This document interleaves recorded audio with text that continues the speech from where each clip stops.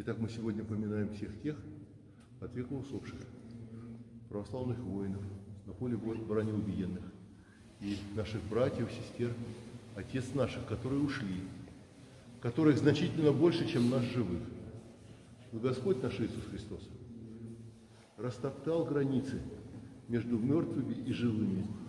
У Бога все живы, слышите? И даже те, которые ушли 100, 200, 300, тысячу лет назад, у Бога все живы. Те, которые были святые угодники и являются святыми угодниками Божьими, они живы не только в том мире, в духовном, но и здесь, в нашем мире. Мы поминаем, да?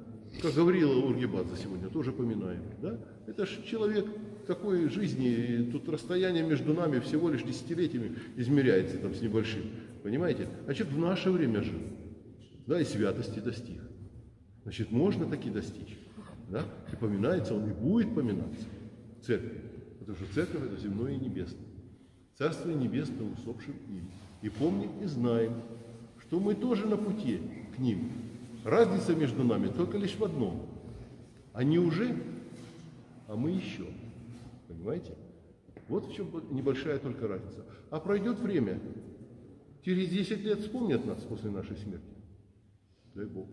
А через 20? А через 30? А через 40? А через 50? Вспомни, что вот такое или такая жила. А через 100? Как много их забвенных. И даже родственники их не знают. Имена забыли и позабывали. Там, я помню, собаку, когда купил, я был поражен, потому что там э, 15 или 12, я не помню, этих сам, в паспорте было написано там ро- родители, все. А я посмотрел, посчитал, господи, а я же своих так не знаю. Про собаку так написано, а я про своих так не знаю столько много, понимаете? И мы забывается это все. Ну, дети еще помнят своих родителей. Внуки вспоминают бабушек и дедушек. Дедушки не все доживают, к сожалению. Да? А бабушек вот так вот, бабушка, бабушка, бабушка. Ну, и как женщина, другая тема. Вот. А, а про бабушек?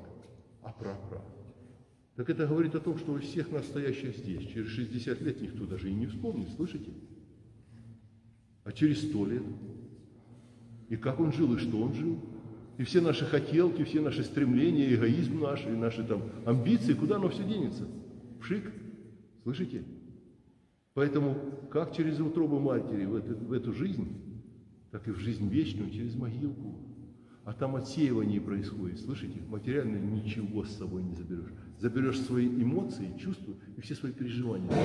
А вот как ты переживал, с чем, о, это уже отвечать каждому из нас. Спаси Господь.